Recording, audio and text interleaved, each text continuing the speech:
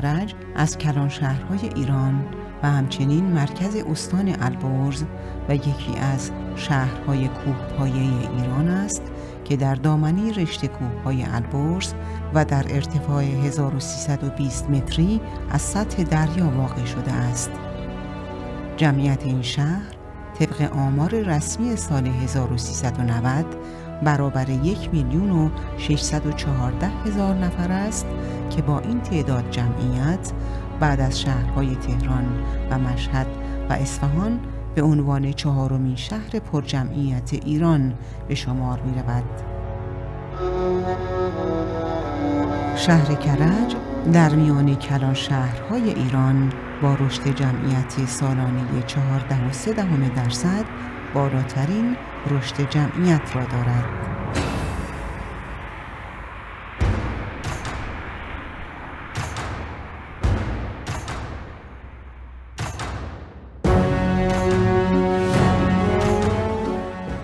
برای مردم پایتخت نشین اسم کرج همراه صد و اتوبانش پرکاربردتر است.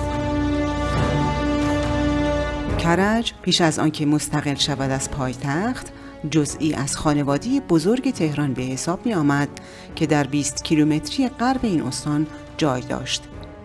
صد امیر کبیر یا همان صد کرج در مسیر جاده رویایی چالوس که روی رودخانه کرج بنا شده و یکی از قدیمی ترین چشمندازهای زیبا و تفریگاه های مهم به حساب می آید.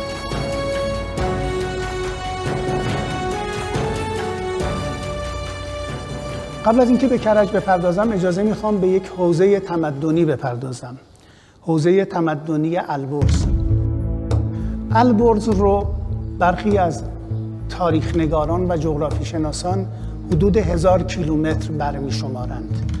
بین دو قله سهند و سبلان و قله بینالود در ارتفاعات الله اکبر در خراسان.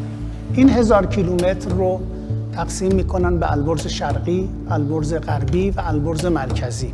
کرج و تهران جز البرز مرکزی هستند. این البرز مرکزی بین دو دره واقع شده سفید رود و دره حراس. حدوداً 350 کیلومتر طول داره و عریضترین جای اون حدوداً 85 کیلومتر. خود البرز البرز مرکزی باز به دو بخش تقسیم میشه. البرز شمالی و البرز جنوبی. البرز شمالی اسم دیگرش هست البرز مرتوب که یال قلل کندوان مرز بین البرز خشک و البرز خیس هست یا البرز شمالی و البرز جنوبی. کرج پایتخت البرز جنوبی رو می‌تونیم بنامیم کرج. حد فاصل این دو البرز شمالی و جنوبی یا خشک و مرتوب ارتفاعات کندوان هست. مشخصا دو قله بزرگ شاه البرز تا توچال که وسط اینها هم کندوان هست. مرز میان دو البرز هست که بازدید کنندگان و اهالی و مردم و تهرانی ها و کرجی ها خودشون وقتی از تونل کندوان میگذرن متوجه این تفاوت خشک و خیس میشن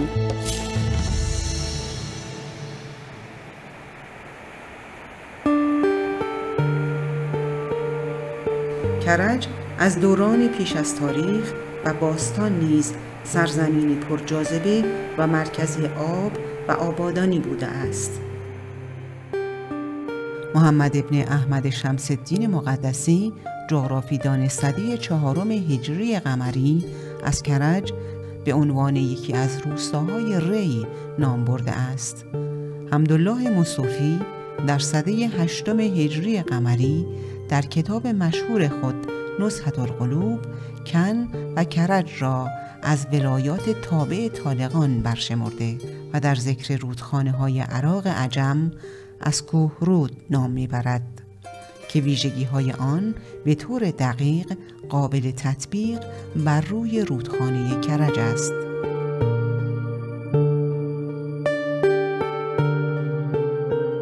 ده خدا در لغتنامه خود می نویسد کرج در گذشته دهی بیش نبوده است و پس از احداث راه شوسه و مؤسسات کشاورزی در آنجا آباد شده است و روز به روز بر آبادی آن افزوده می شود.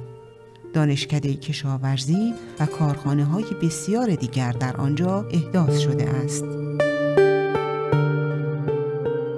سد کرج به گنجایش 205 میلیون متر مکعب و با تولید 149 میلیون کیلووات برق در سال بر روی رود کرج ساخته شده است.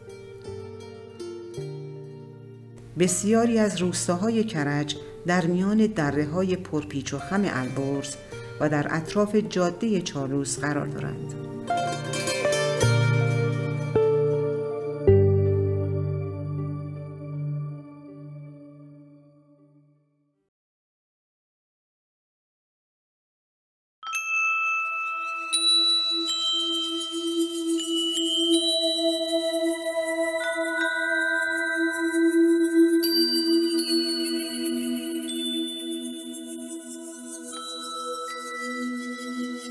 کلمه کرج را برگرفته شده از کراج می دانند که به معنی بانگ و فریاد است.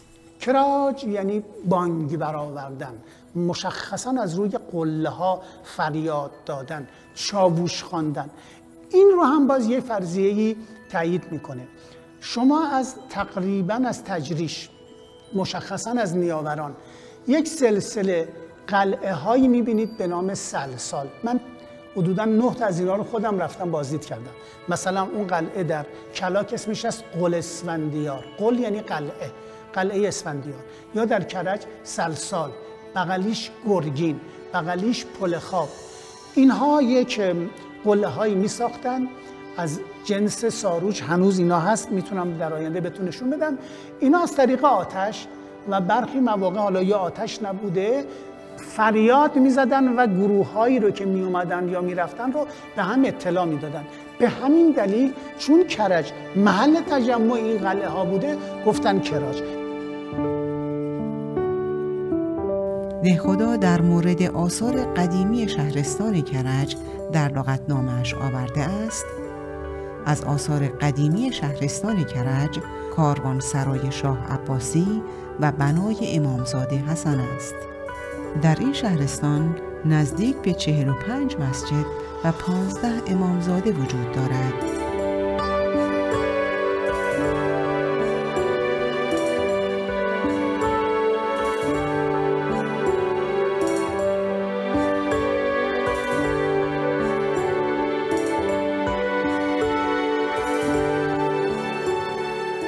بر پایه زبان کهن نام کرج از واژه کاوک به معنی میانتوهی گرفته شده و این از آن روی است که کرج میان دره واقع شده است.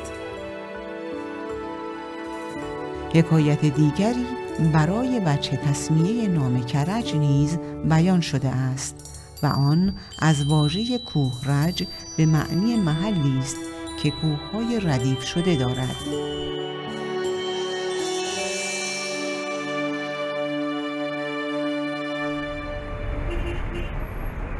کرج که امروزه با عنوان مرکز استان البرز شناخته می شود پس از تهران بزرگترین شهر مهاجرپذیر ایران است و با توجه به جوان بودن آن نسبت به سایر شهرهای بزرگ ایران به عنوان یکی از کلان شهرهای جدید کشور به شمار می آید.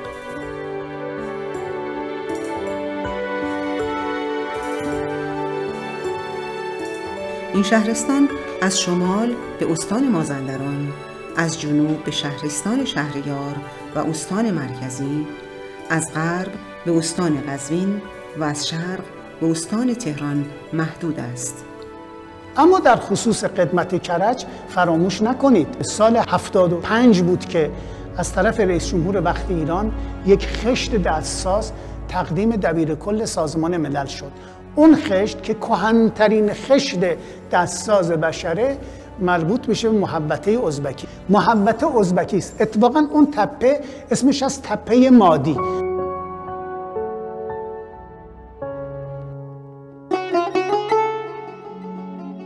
دوره مادها وقتی که اینجا حاکمیتی وجود داشته و قلعه نظامی در رأس این تپه بوده در اطراف اون یک شهر مادی بوده.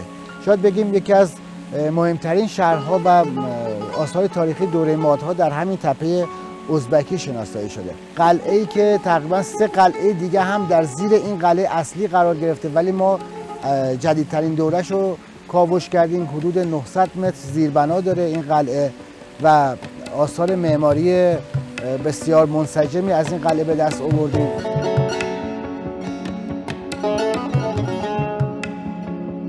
بر اساس کاوش های صورت گرفته محبت باستانی ازبکی در برگیرنده 6000 سال بقایای فرهنگی پیش از تاریخ و اوایل دوران تاریخی ایران از نیمه اول هزاره هفتم تا نیمه نخست هزاره اول پیش از میلاد مسیح یعنی دوران مادهاست.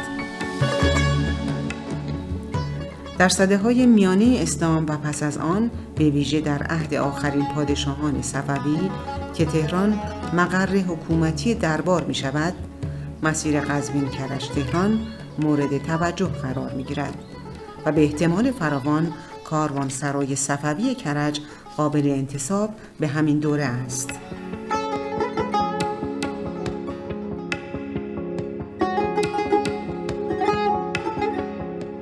در فرهنگ نفیسی کرج به معنی گوی، گریبان، چاک و شکاف آمده و در جای دیگر آمده است آن رودخانه است که در کوههای شمال غربی ری جاری می‌شد و بلوک شهریار و ساوج براغ را مشروب می سازد و نام دهی است در کنار این رودخانه که پادشاهان قاجار در آنجا بناها و قصرهای عالیه برپا نمودند.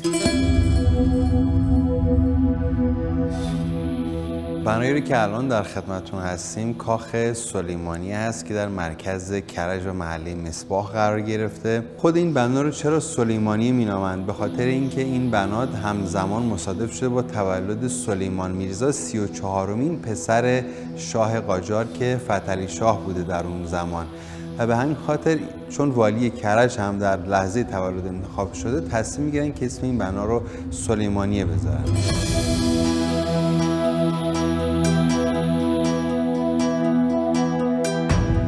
کاخ سلیمانی در سال 1332 با شماره 307 در فهرست میراث ملی به ثبت رسید. در واقع جز اولین بناهای نفیسی است که در فهرست میراث ایران به ثبت رسید. این بنا از دو حیث کاملا منحصر به فرد. نخواست اینکه این بنا اولین بنای پیلوتداری هست که در ایران ساخته شده. منظور از پیلوت فضای خالی زیر در واقع بناها هست.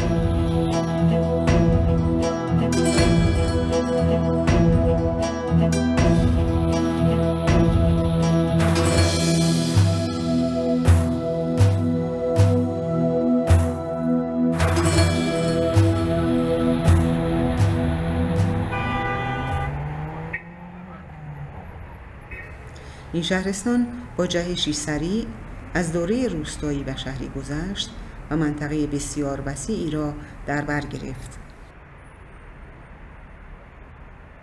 امروزه کرج که به مهمان نوازی معروف است به ایران کوچکی بدل شده. اینجا ایران است. ایران کوچک. شهر هزار فرهنگ. فرشی هزار رنگ و هزار رج. کرج.